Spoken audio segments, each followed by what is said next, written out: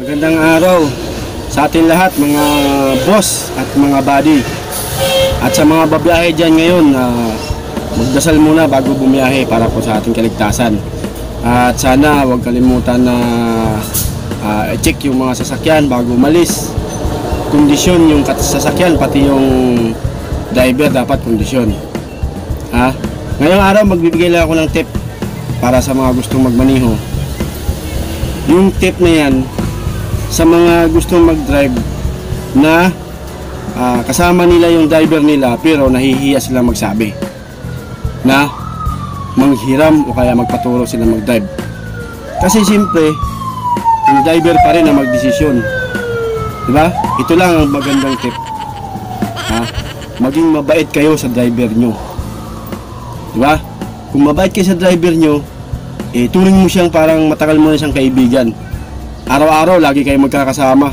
Mabait ka sa kanya. Diba? At saka isa pa, maging masipag ka. Ah, halimbawa, linis-linisin mo yung sasakyan nyo. Yun yung isang tip ko sa iyo. Tapos, ah, kumbaga, ah, kunting pasipsip. Diba? Ganun talaga. Ganun talaga. Kailangan mo talaga yun. Para makuha mo ang ah, tiwala ng driver. Makuha mo yung loob niya. At makuha mo yung loob niya, makuha mo yung tiwala niya, maging mabait din siya sa'yo. Di ba? Yun ang ah, mga tip ko sa'yo. Tsaka isa pa, pagka bumabiyahe kayo, halimbawa, malayo biyahe nyo, medyo inaantok na siya, ito gawin nyo, kausapin nyo siya. Di ba? Ah, sikreto lang, bumili ka ng candy bago kayo malis. Bigyan mo siya ng candy. Yung kunting bagay, alam nyo, mga buddy, mga boss, yung kunting bagay lang na binigay nyo sa inyong kapwa o sa inyong driver, maalala niya yun na masasabi niyang mabait, mabait tong kasama ko, mabait tong pinante ko. Kahit ngayon lang kayo nagsama, magbibigay siya ng tiwala sa iyo, dahan-dahan na ibigay niya yung tiwala niya sa iyo. At balang araw, hahihiramin kayo ng sasakyan niyan para makapag-practice kayo at ah, baka turuan pa kayo niyan. Siyempre, driver, may mga diskarte na yan. Pag tinuro niya sa inyo yan, siyempre, napakalaking bagay niyan. Oo, di ba? Oh, saka isa pa, ito pa. Hmm. Pagka madaling araw kayo bumabiyahe, halimbawa, timplahan mo man lang ng kape. Kunting effort. Yung effort na gagawin mo, kahit napakalit na effort lang yan, ah, siyempre, makukuha mo yung loob ng driver nyo. Di ba?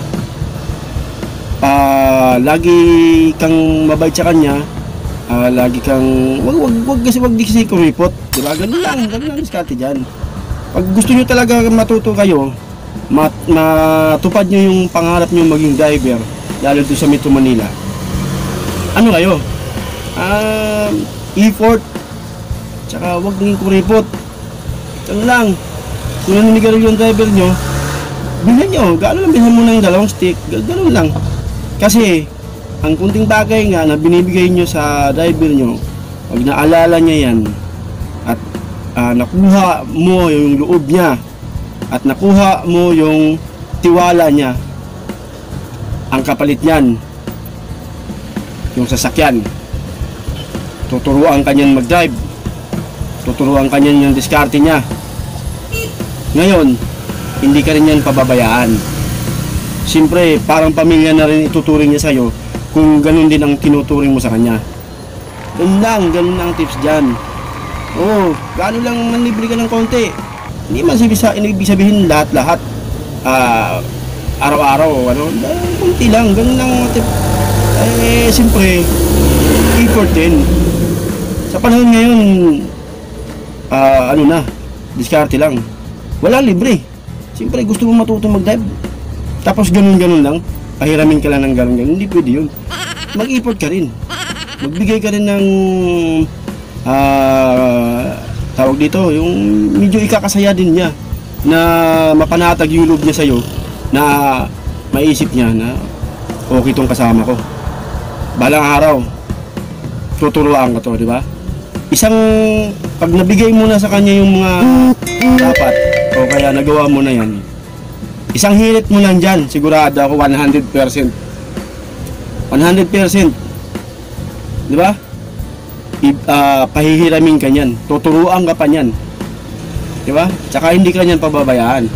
Pagdating nyo kung saan saan man ng biyahe nyo, siyempre, asikasuhin mo lang lagi yung sasakyan nyo, kung anong kailangan ng driver mo. Ganun lang diskarte dyan. Tapos, ang kapalit niyan, yun na. Isang hirit mo lang dyan. Sigurado akong pahihiramin ka niyan. Pag pinahiram ka na niyan, yun na yung pagkakataon mo. Pagka lagi-lagi ka nang naghahawak ng manibela niyan, imposibleng hindi ka pa matututo.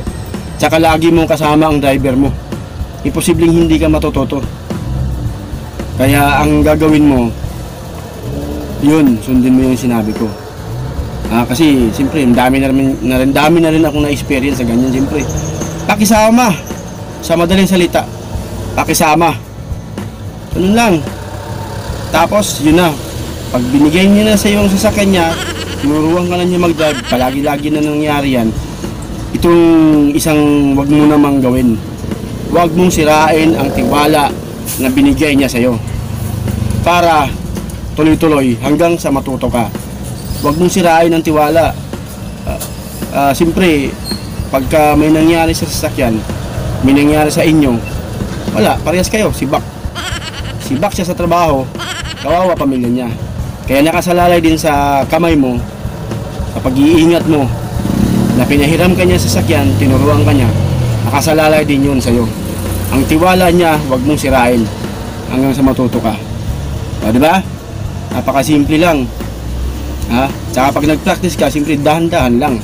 Simula dahan-dahan lang hanggang sa matuto ka. Darating ang araw, ikaw na pagmamanihingin yan. Siyempre, ang driver mo matagal na nag-drive yan.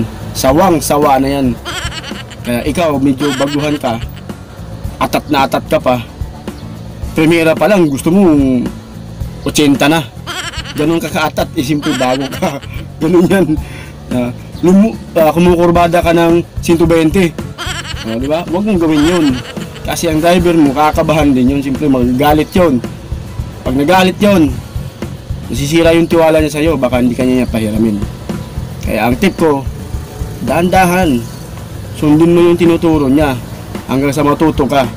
Pag ikaw na ngayon marunong ka na at nagmaniho ka na sa sarili mong sasakyan o kaya mismo driver ka ng legit ka ng driver ng kumpanya, doon mo na gawin yung gusto mo. At least, walang madadamay. Ikaw lang. Pero ang payo ko lang dyan, laging ingat tayo. Siyempre mga buddy, mga boss. Buddy, ingat lagi. Di ba? Huwag tayong gawin nating hanap buhay yan. Ang pagdadrive, hanap buhay natin yan. Kaya wag nating sirain yung tiwala ng driver, tiwala ng kumpanya, tiwala ng bawat isa sa atin na nagpa-practice tayo. Siyempre, binigay niya sa'yo, nagtiwala din siya. Di ba? Okay. Yung tip ko niyan, ganyan ha. Kayo na bahala sa iba. Marami pa yan, pero ah ganun lang ang gusto kong sa ano i-share sa inyo. Ha? Kung nagiinuman yung driver nyo, di painumin mo ng dalawang bote pag tuwing sahod nyo. Gaano lang yun, pero ang kapalit nun. Habang buhay mong trabaho, ang pagiging driver kung natuto ka na. Ha? Ano na yan? Ah, napakagandang ah, profession na yan. Ha? Ah, hindi ka nag ah, wala kang ginagawang masama. Ma- magandang trabaho yan. Gawin yung panghanap buhay para sa pamilya. Magkapamilya man kayo kung wala pa kayong pamilya. O, di ba? Yun lang. Napakasimpleng tip niyan, mga buddy. Ha? Kaya sana ah, aral. Tsaka gawin nyo tong batayan yung sinabi ko. Oo, ganun lang. Ako, nung simula ko noon, ganyan din ang ginawa ko eh. Siyempre, hindi ako nagkuripot. Ah, bigay, libre, ganun lang. Tapos, pag ah, nakuha mo yung tiwala niya, ayan na. Pahihiramin ka na ng sasakyan niyan, tuturuan ka pa. Pag natuto ka na, yan na ang pagkakataon mo. Tuwang-tuwa ka ngayon, di ba? Oh. Mahasang-hasa ka na sa pagdadrive. Yung sobrang hasang-hasa ka na, ma medyo pwede ka nang bitawan sa labas, sa mga highway. Ah, yun ang pagkakataon mo. Mag-apply ka na sa kumpanya nyo o kaya mag-apply ka na sa iba. O, di ba? Sarili mo na ngayon. Ikaw na mismo magdesisyon. Ikaw na ang driver. Di ba? Pero lang, napakasimpleng tip lang, ha? Okay. Ha? Tandaan nyo lang. Hanggang dito na lang, mga bade. Mga boss. Hmm. Ah, salamat sa panonood. Tsaka bago man lahat, huwag niyong kalimutan mag-subscribe dito sa channel ko, ha? Suportahan niyo yung channel ko. Ah, huwag kalimutan mag-subscribe. Ah, pindutin yung bell button para sa notification. Para pag may bago akong video, ma-inform kayo kaagad. Ha? Maraming salamat, boss. Ah, ingat.